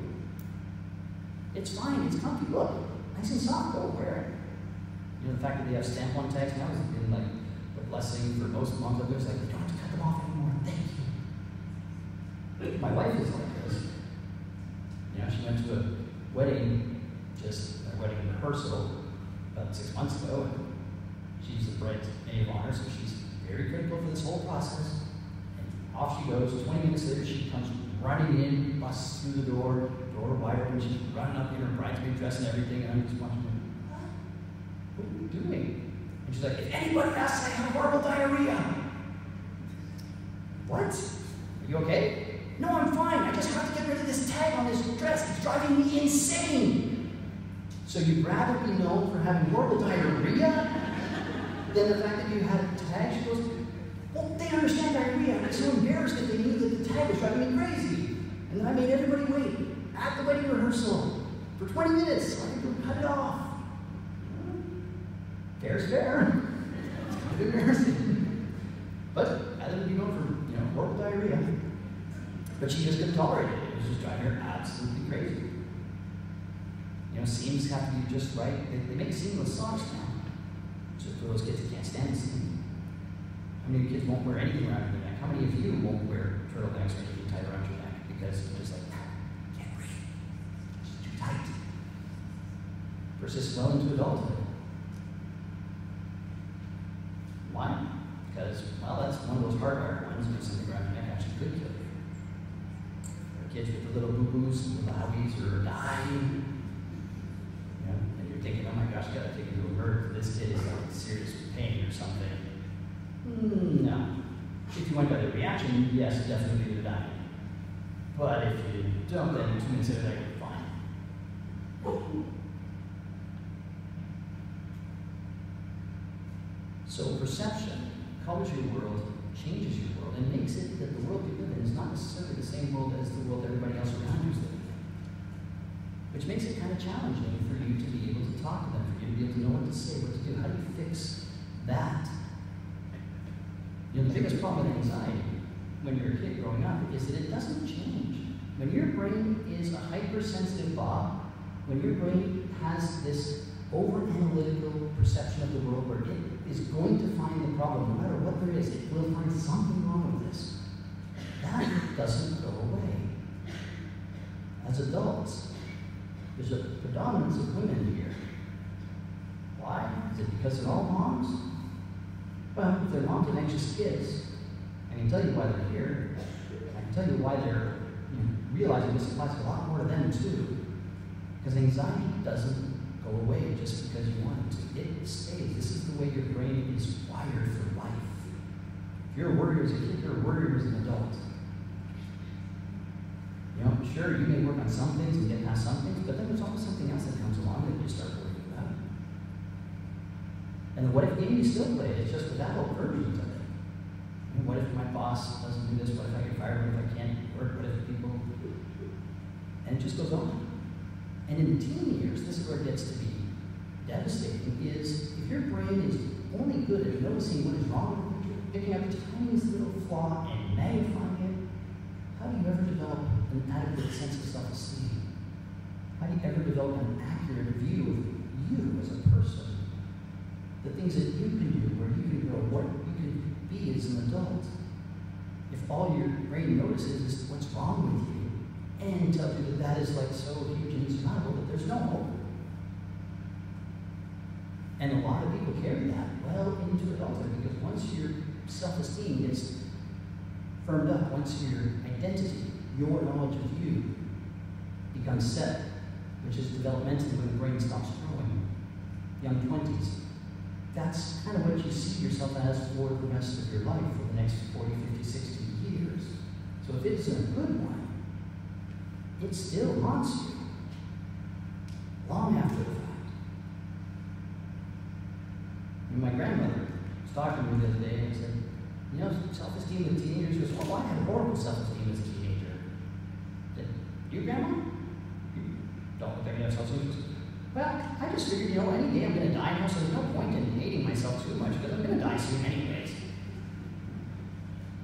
That's a good perspective. I said, you realize you're like an awesome grandma? She goes, there's a lot of things I could do better. No, but you're awesome. Yeah, but see, I didn't do this, and I didn't do, and I should have done that, and I could have done that. And even in the face of positive reinforcement from everybody around them, they still only see the problem. So what do you do about that? How do you fix this? Well, remember I talked about the brain and how the brain is these two guys that live in your brain, Jim and Bob, how it's really important to understand them. If you know how the brain works, you can manipulate Jim and Bob, and you can do whatever you want with any child you want, and get them to do anything you want them to do. Following the rules of Jim and Bob. You see, because Jim and Bob, while they are in balance all the time, there's something different about their activation. Remember, Bob shoots up quickly and fades over time. Jim just gets louder and louder and louder and louder and louder until he gets what he wants. Which means if you're facing a scenario where Jim and Bob are both giving instructions, both trying to control the body around one specific thing, don't go in there, that'll be bad. Yeah, but that's where the money is. Yeah, but don't go in there, you could get hurt. Yeah, but a million bucks, man. Yeah, but we're talking about on top of a crane hanging over a cliff. Yeah, but it's a million dollars in cash. So what do they do? Oh, you know everybody on Fear Factor is always going through with it. They're going to try. Why? Because what I want will always be more important than what I'm afraid of. Always. Jim will always beat Bob. The only factor that determines whether or not that fight is won or how soon it is is time. If you take the measuring stick immediately, yeah, Bob can beat Jim. Yep, you can sit there and say, look, if you do this, give you this, and then, nope, forget it. Yep, absolutely. If you take that answer in the first five minutes, Bob wins. What happens if you just sit there? And you're like, yeah, sure, just think about it. Well, slowly but surely, Bob gradually fades. Jim gets louder and louder and louder. And without fail, Jim goes, you know what, yeah, we're doing it. And they change their mind. And they decide to do it. You know that 12 year old kid I was telling you about? The one that got impaled by the needle. He was actually pretty straightforward because he said he was never going to get it. The problem was Rick said he needs to get the needles vaccination. So I sat there and I reached into my drawers and I pulled out a $50 bill and I said, if you get a needle right here right now, I'll give you 50 bucks. He looked at me and went, forget it. No, wait, no, no, uh-uh. Really, really? No, no. Like, like, are you serious? Like? No. No. Wait. Like, you're really gonna give me that? I said, yeah. Promise. I guarantee I got the deal right here. You let me give you the needles. I'm the doctor. I will give you fifty bucks. She, like for for real? Yeah, for real. No. Uh, no. Um. Mm, no. Mm, Mom, no. Mom, Mom, let's go. Mom, we're leaving right now. Let's go, Mom. Let's bring this thing down. And I was like, why? I hate him. I don't like him. I don't like him. Why not? Just, Mom, we're. Mom, we've got to go right now. And I just looked at him and said, what, you don't want 50 bucks? No, I don't want just doing money and stuff. And pulled out another 50. I said, I'll make it a 100. It's a 100? He said, yep. Goes, okay. Stood up and walked over. He said, so you ready? He goes, yep. I'm getting a 100 bucks right away. He said, yep. He did. Got the deal. No problems. Got the 100 bucks, walked with a huge grin on his face. First words back to me after he came back two weeks later were, hey Doc, you do that, that needle thing again? he was looking forward to it this time. Why? I mean, he said he was never, ever, ever going to get another needle in his life. You know, I was the worst doctor he'd ever seen. He hated me. And yet he loves me. Because as long as Bob was in control, oh, he needed to get out of there quickly. But Bob knew Bob was losing. And I knew all I needed to do was wait. And eventually Jim would take over, and so Jim takes over. They decided to do it, and they don't give you a hard time about it, and they have no issues with it. If you go to my website, I've actually got a video of a 13 year old girl doing exactly the same thing again, intense needle phobia. And start to finish, you can watch the process in action. And the reason that it's posted online is that big part of the reward of what Jim, Jim, wanted was to be a YouTube star. So even though the money was good, you know, I've got this recorded, you can be on YouTube. Ooh, that's, now we're talking. That's right there in front of them. So, Okay. And using that strategy alone, you can get kids to do anything that they're scared of doing. You can get them to go to school, you can get them to go into their rooms, you can get them to wait without you, you can get them to you can get them to have a shower, you can get them to do whatever you want them to do. And while they do it, they're going to be happy. And they're going to smile on their face, and they're going to like you, and they're going to thank you for it. Because you just turned something that was horrible into a really, really good thing for them. You just made it so that they could do something that they couldn't do before this. And the number of applications that you can do with this are phenomenal. I know I've got a son who is, you know, the classic kid that's afraid of everything.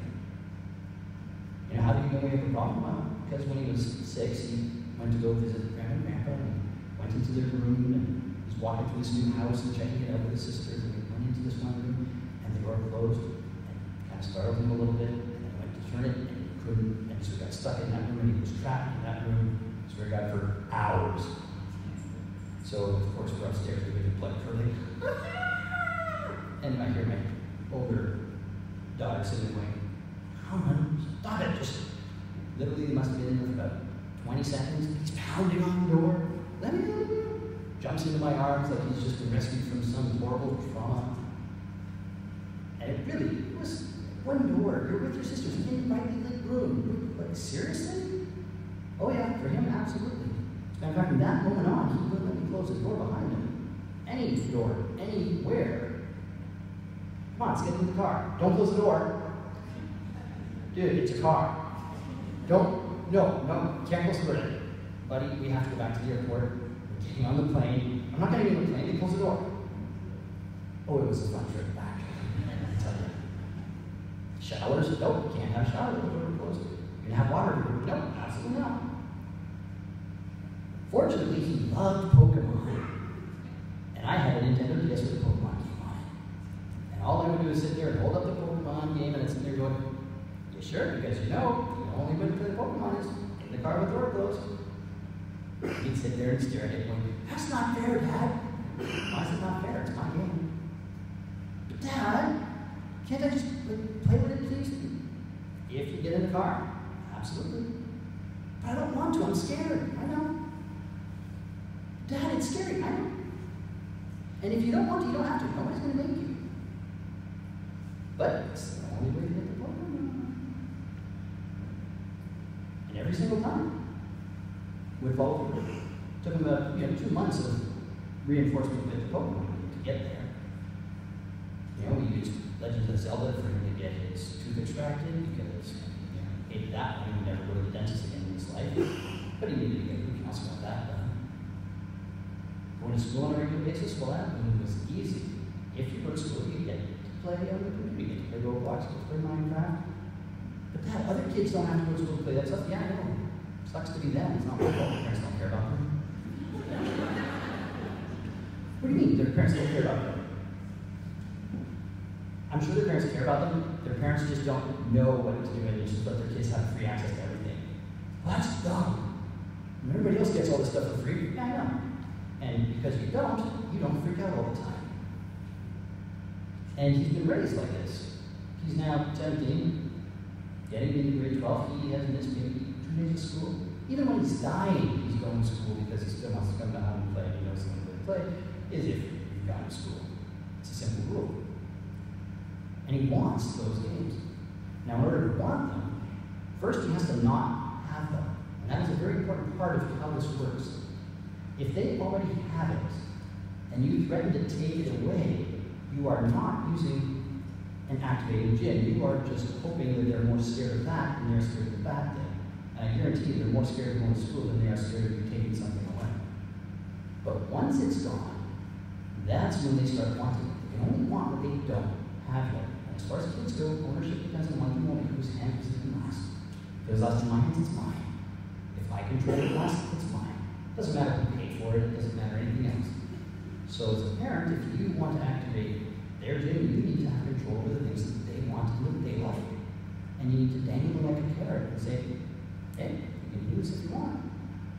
You're playing soccer, something that he enjoys, but when he was 12 and went to the soccer field that first day, he had a new coach, different coach last year.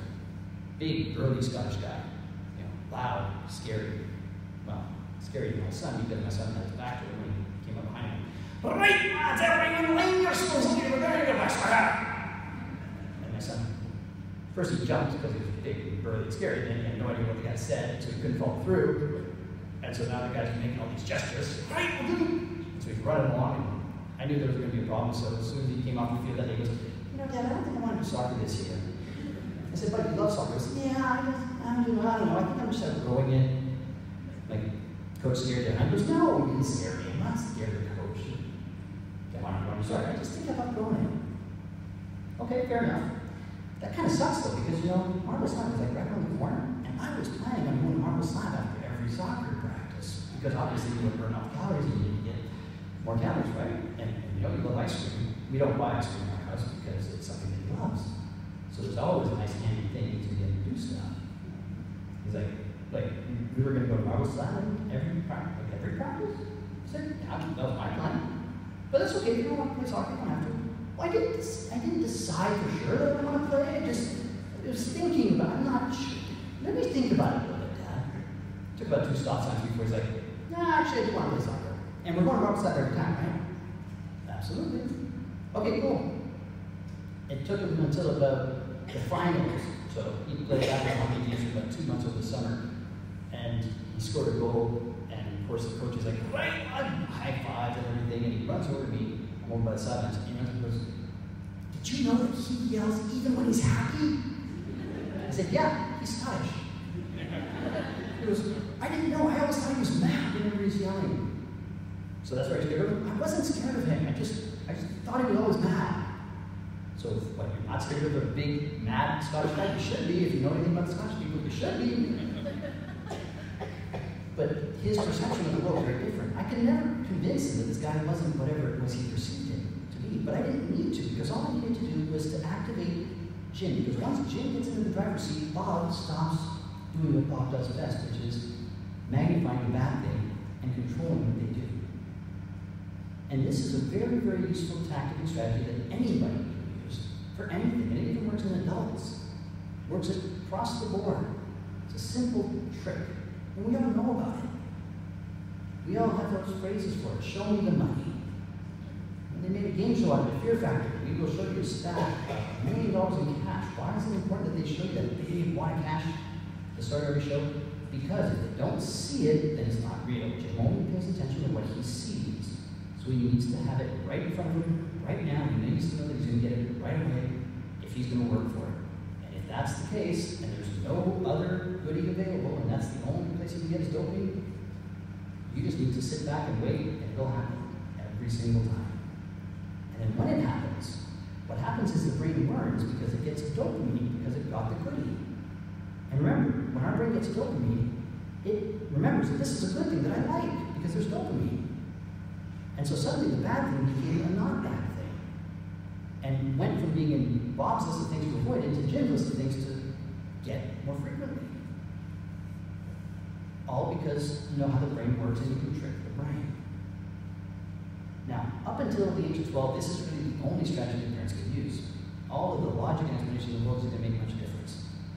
But after they start to develop logic and reason and they start to be able to think, the focus starts to shift such that by the time they're in their mid to late teens, so 16, 17, you want them to be really working on developing that thinking part of the brain, the overriding part of the brain. You want them to be able to stop and recognize, wait, this is Bob. This doesn't make sense. I need to make myself do this, to force myself to use willpower to push myself to do this. And it becomes a really important thing to learn because the only time that they can learn to develop this skill to any significant degree is while their brain's still growing, up until about 23, 24, 25. After that, if you haven't got willpower yet, you're still not going to have it 10 years down the road. If you had a lot of willpower as a youngster, you'll still have it. And unfortunately, we live in a society that doesn't use a lot of willpower. So what if it's not so much, you know, the stuff that they do, but it's more the things that they say? Well, one of the important things to remember about how Bob activates is based on experience. So if you don't want Bob to be scared of something, don't let Bob experience something bad. Now, you can't raise your kids in a bubble, but you certainly can shelter them from some of the more negative stuff they don't need to know about. Bob does wonders with information. Bob hears one bad thing, like, like you're going to the doctor. Are you dying? No, it's a checkup. Well, why are you going to the doctor? Because I go to the doctor. But aren't doctors, you said doctors were there to help people who are sick. So you're sick? No. But if you never told them about the fact this would never have been an issue. If they hadn't taught that germs class, it would never have been an issue.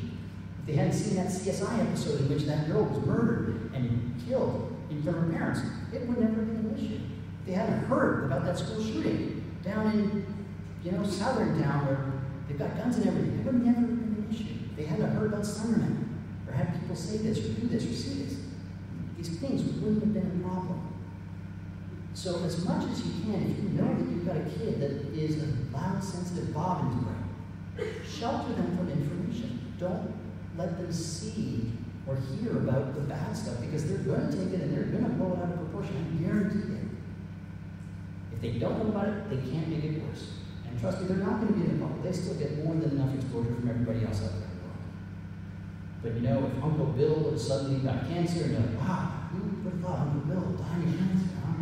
Who's Uncle Bill? Oh, he's uh, your dad's second cousin over twice removed. Wait, he's dying of cancer? What if you died of cancer? Did they need to know about Uncle Bill? No. Are you going to hear about it afterwards? Absolutely. Absolutely. Then we had to put our dog down when our dog was about 20, old. My son loved the dog. But you know, he said, why are we putting him down? Because he's sick and old and he's in pain. To everybody? Said, you know, dogs are old, this is what we do. Thinking about it, half hour, quiet ride home. Turns goes, Dad, how old are you? Oh, you all know exactly where he was going with that one. I said, how old am I? Yeah, how old are you? I said, uh, 4,979, roughly. Is that old? I said, oh yeah, that's like longer and more years than most other humans have ever been around. Which, you're really old? I said, I'm immortal. I'm a god. I don't age. I will look like this even another thousand years down the road. Wait, what? Seriously, I know more. Wait, so you can't die? Nope. Are you sure? Yep. Like ever? Yep. So even when you're not gonna die? Nope.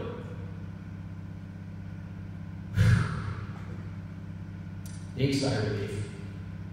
Averted a crisis. Because I told him what he needed to hear so that he could go to sleep and not be terrified for the rest of his natural childhood. Now, I know a lot of parents, because I tell this to a lot, I get a lot of parents come up to me and go, Are you saying we should lie to our kids? Yes. Well, I don't lie to my kids. Really? Santa Claus? Easter Bunny? Tooth Fairy? You don't lie to your kids?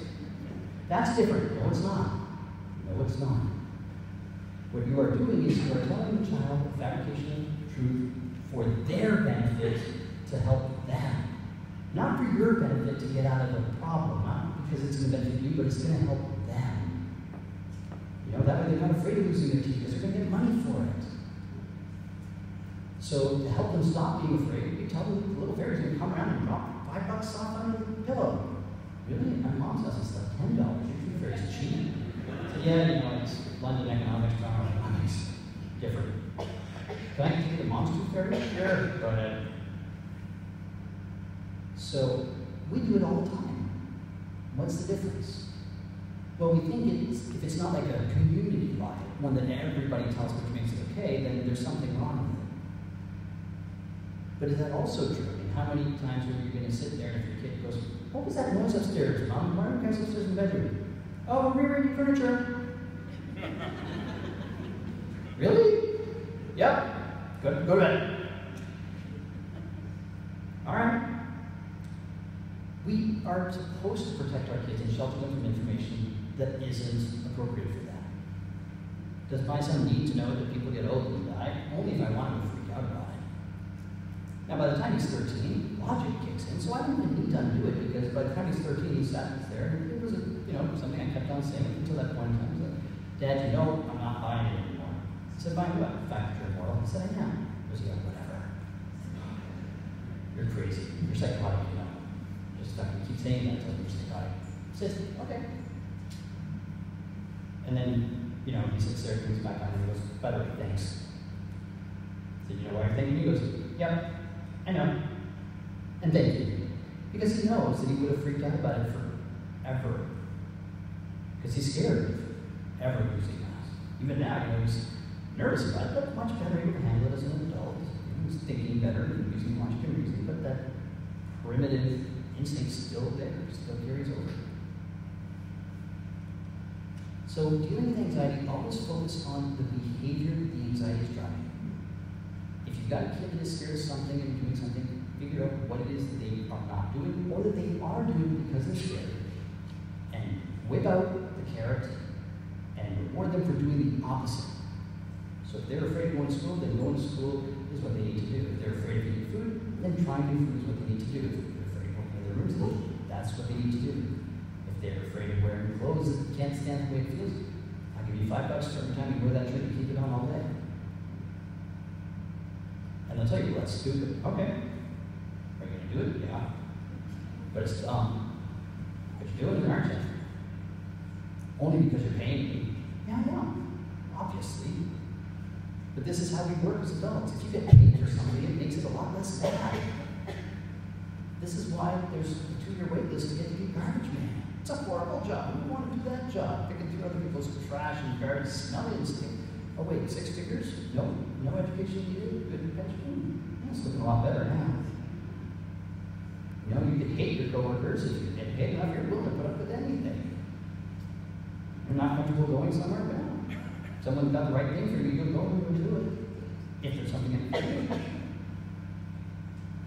Yeah, my wife doesn't like crowds, won't go shopping for food, you know. We still have food in the fridge, wait longest possible time, but as soon as there's a shoe sale on, she is in there with that crowd like you wouldn't believe. And she'll be elbowing people like, you know, their shoes, right? And you're too nervous to go to Costco for food. It's like, it's different. I said, how is it different? It just is, okay? You just don't understand women's shoes. I said, true, I don't. I mean, I do. It's Jim. Jim is watching you do it without even worrying about her blinking. So if you pay attention in your lives, you'll all see that this is absolutely true.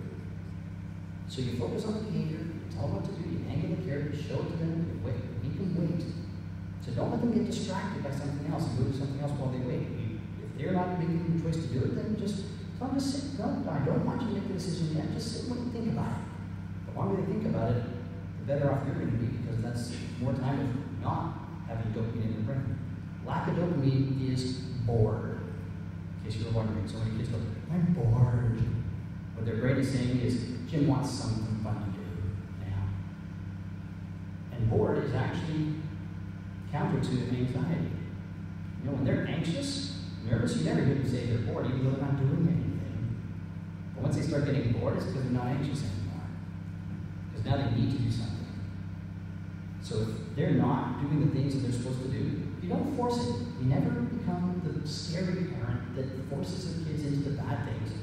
You just become the parent that controls the duties and will give them when they decide to do it.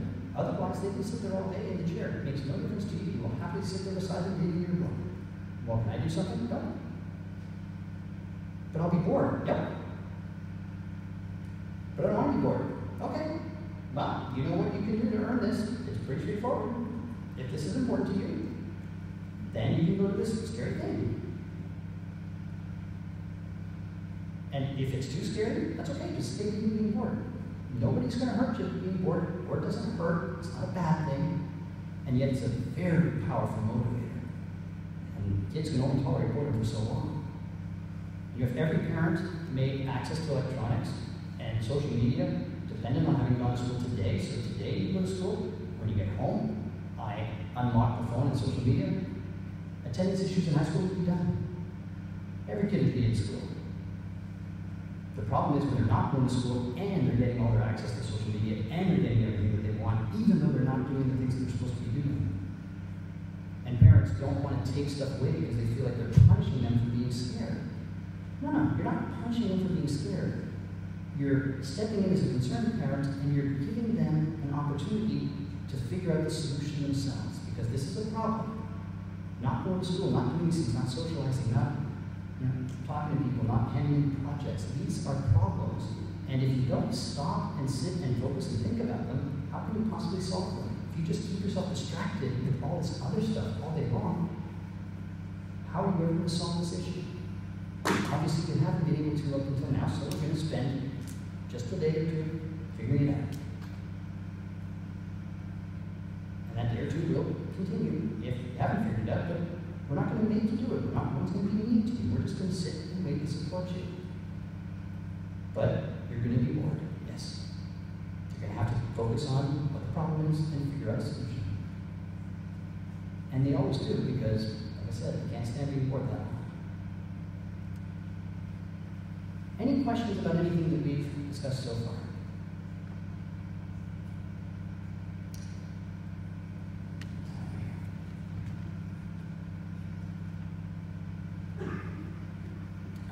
So I'm just going to touch very briefly on mood and depression because oftentimes you hear this a lot from teenagers I'm depressed, I'm unhappy, I'm sad. And this is usually in kids that have a lot of anxiety to begin with, but they always talk about it's not anxiety, it's depression, it's this and this.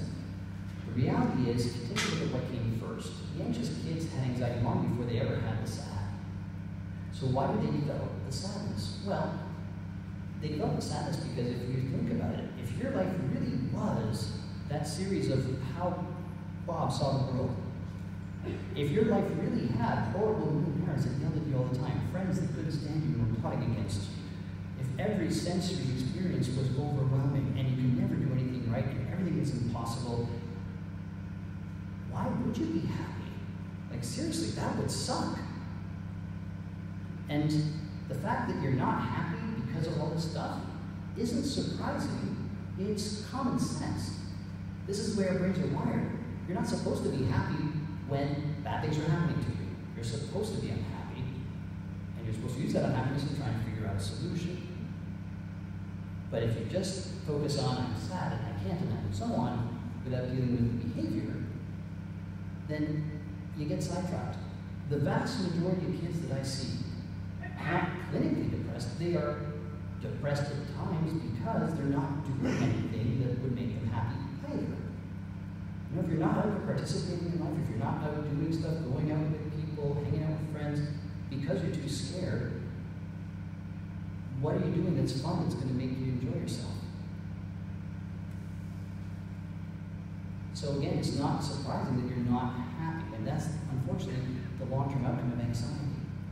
Is anxiety does lead to a chronically depressed state, which then can turn into a clinical depression because if you stay stuck in that mood rut of everything sucks and is unhappy for too long, it can then get stuck to the point that medication or whatnot is needed, especially in the young adult and forwarding years.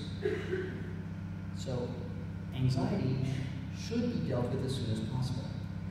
The natural course and history of anxiety is that it just gets worse. Our brains learn through experience. Our brains practice and get better at doing whatever it is that we practice doing. If we spend 18 hours a day worrying, focusing on the bad, picking apart the world, we get really good at doing that. And we started becoming scared of things we weren't even scared of a couple of years ago. And a couple of years ago, I could go to the store. I, yes, I never liked people, but I could at least, you know, order something that's importance. But now, two years later, I can't even do that. Why? Why is it getting worse? Because you're practicing not talking to people. And so your brain is responding to what you're telling it it needs to be able to do. And it's learning and getting better at it. So by getting kids to focus on rewards, by getting them to chase something that they want, what you're doing is you're giving them time throughout the day where Bob isn't in the driver's seat, where Jim is in the driver's seat. And the more hours of practice they can get having in the driver's seat, the better that will become at focusing on what they like, what they want, how to get the things that they want in life, at enjoying things. And slowly but surely, over the years, you can actually make a significant difference in the outcome of their childhood and adolescence into adulthood. You can actually rewire the brain because you trained it not to be worried all the time. But it takes a lot of time, energy, and effort to do that. But it's definitely worth it. So, at the end of the day, this thing just catching up. The strategies are there. All of this information is on my website. If you go to the website, which is drtempleman.com, D-O-C-T-O-R Templeman, in the resources section, you'll see links to the various presentations. You'll also see some handouts that talk about measuring anxiety the strategies, as well as handouts that talk about how you change the way that you structure your life, your world, so that you're in control of the rewards and you can use them as motivators for kids to do these things. And anything you need is there. You don't usually print it out because I don't want to kill a ton of trees, but it's all there free for anybody who wants it. So this is pretty much the end of the formal presentation. If anybody has any specific questions or anything and they want to come up and talk to ask me questions, feel free. Second question. Yeah. Why is?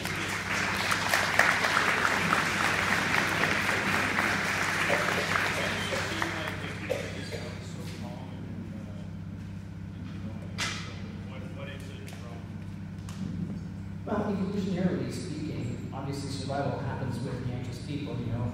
There's the reason they don't give Darwin awards to the anxious people is the people who have no anxiety and no fear to get the Darwin awards.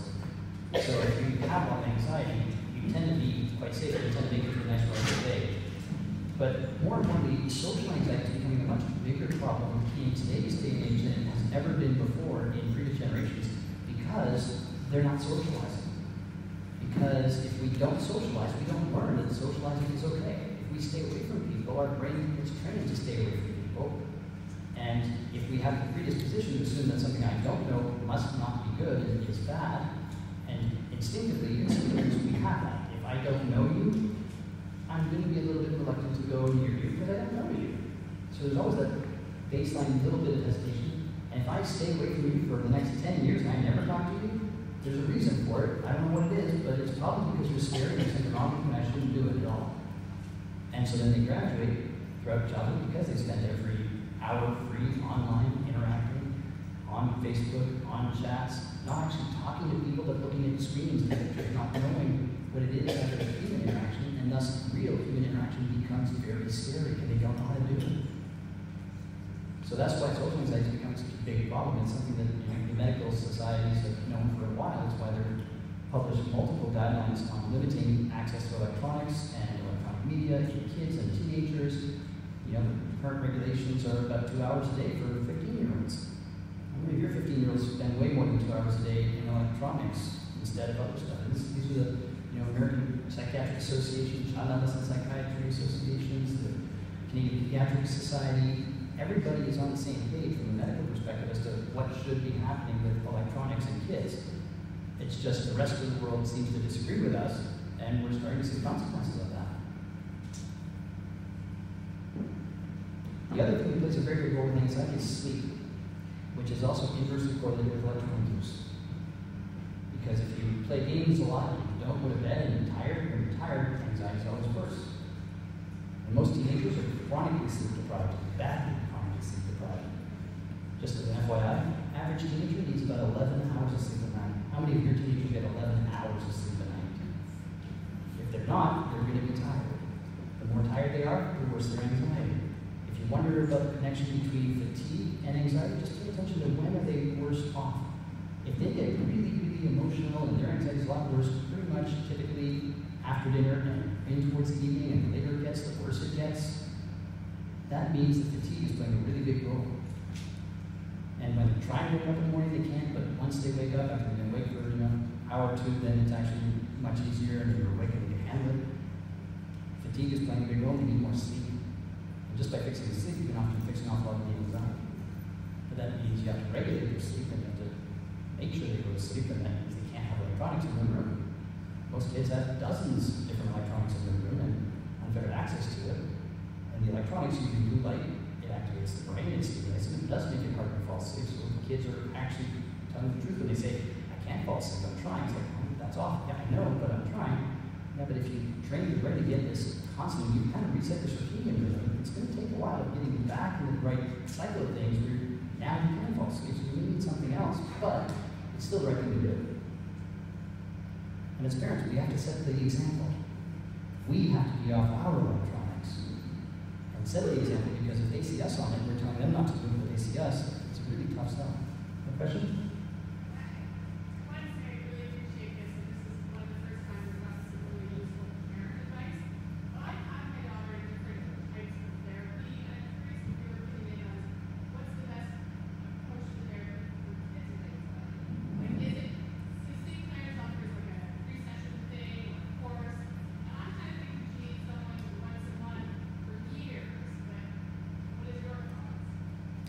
What I've just taught you here today is the single best therapy for kids with anxiety because anxiety is an everyday thing, and unless you have a therapist that's there to help you every single day, you're not really getting the help that you need.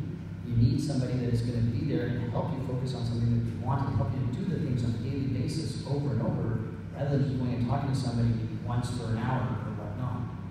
If anything, you know, as they get older, the reality is that ongoing type of therapy where they come in and they talk to somebody on a regular basis, like once a month or how long, actually isn't of any benefit and sometimes makes it worse, especially if they're a people pleaser. Because the people pleasers, they want to make you the therapist happy. And if the therapist, the first thing they say is, so how are things, what problems have you had, and so on, they want to know about the problems. What if they have any problems that? Well, they better start thinking of them soon, and they better start figuring out what problems they have so that they can have a nice list to come into the therapist. And I've got a lot of kids that sit there and say, yeah, I usually feel worse when I come out of therapy because I was fine before I went in. I wasn't thinking about all this stuff. But then they ask questions and I think about it, and then it just actually I feel worse until it's another day or two later, and then I forget about it until the day before therapy. Then I remember, right, they're thinking about all this stuff. So it kind of works backwards.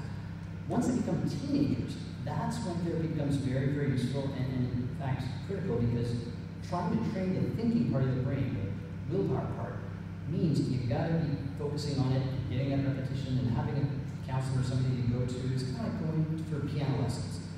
You have to answer to them, you have to do practice at home if they're good, so it's not just a come and practice one hour every two weeks, and I'm going to hope that's going to fix it, because that won't. But if they're motivated, they go home and they do the exercises and the strategies and they think about it and they practice reality testing and pushing themselves, then essentially it's like your personal trainer, your piano teacher, and they're the guide, but you're still doing all the work. But when you're much younger, because the thinking part isn't really activated, it's much more about behavior therapy, and it's just exposure and teaching the kids how to do exposure, teaching parents how to help them with the exposure, and minimizing it. But the reality is, if you have a reward, it's so much easier to do any exposure. You just have to dangle the right carrot. Question over here somewhere? No? All right. Well, thanks for coming, guys.